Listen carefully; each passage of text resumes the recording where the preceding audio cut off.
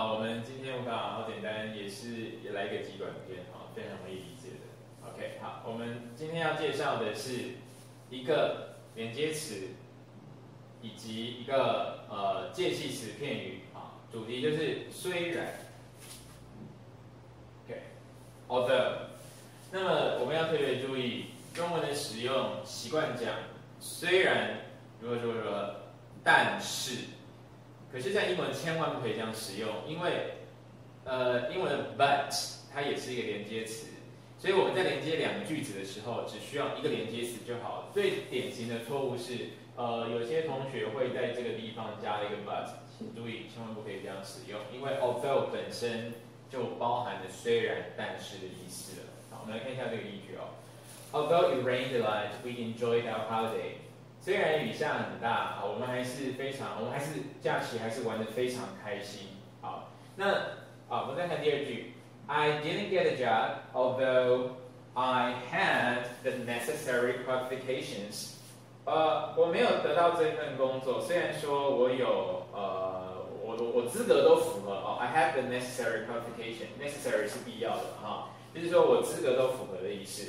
好，我们先看这两句。主要是要告诉各位同学，although 句跟另外一个那个跟主要句的顺序是可以调换的。我们可以先讲这一句，也可以先讲这一句。那么在书写上面要特别注意，although 在头的时候，我们会需要一个逗号在这边。可是我们在这边并没有发现逗号。好，请记得，如果你先讲这一句的话，我就不需要逗号了。OK，好，这是我们的结构，非常非常的简单。好，那可是我们看到下面这两个句子呢？我发现到用红色的这个，好，请注意它的发音念 despite，另外一个是 in spite of，这两个是同义字，好，它们是介系词。那我们要特别注意的一个观念，好，这个对于要考，尤其是要考错一的同学，你要特别听清楚了啊。我们在介系词的后面，请你不要接句子，哈，介系词后面是可以接子句，但是不可以接一个呃一个完整的独立句哈。像这边看到，呃，it rained a lot 跟 enjoy the holiday，它就是一个句子，我们不可以直接把它放下来，是绝对绝对绝对是不可以的啊。是如果你这样用的话，其实还是听得懂啊，只是就是结构是错乱的哈。好，我们看一下，如果要把它改成 despite 或是 in spite of 的话，要怎么写呢？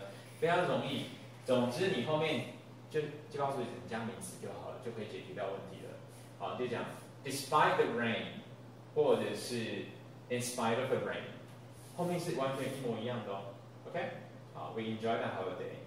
好，再来这边，I didn't get a job despite having the necessary qualification。好，请看到我用 having，在 蓝色这个地方我写到 although I had，可是刚刚我们提到的介系词哈，我们这是介系词哦，OK。那介系词的后面不可以接这样句子的结构，是绝对绝对绝对不可以的。你要不就是接名词，要不你可以接一个动名词在这个地方，那么这样子就是合理的。好，我们上面这两句就是这下面两句的意涵。那在这个单元我们讲的非常非常的简短。那事实上，如果说我们要在 define 跟 inspire 哦，后后面要接子句的话，它有一个句型，但是我们今天在这里并不特别讲。只要能够了解连接词的后面跟介系词的后面应该要接什么，我们要有个清楚的观念，这样就可以了。以上，我们下次再见。